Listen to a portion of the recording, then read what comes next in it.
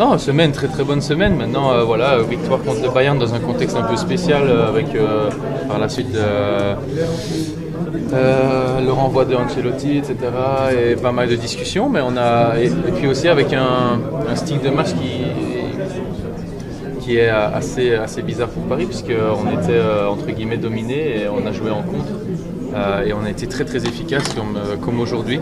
Et je pense que c'est un système de jeu qui pourrait, pourrait nous, nous aller euh, tout simplement. Euh, d'être un peu plus euh, passif et attentiste et, de, de, jouer le compte parce qu'on a, on a une équipe pour jouer dans n'importe quel système et, surtout en compte ça va très très vite.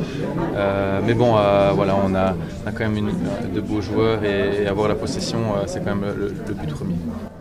On a vu Neymar tirer le penalty, c'est désormais lui qui tirera tous les penalties du PSG. Euh, ça, j'en sais rien du tout. Non, ils sont arrangés avec le coach. Euh, voilà, peut-être qu'aujourd'hui c'était lui. Euh, s'il y avait eu un deuxième penalty, ça aurait été dit. donc voilà, pour la prochaine fois, ce sera. ils inversent. Je pense que ça va tourner un peu.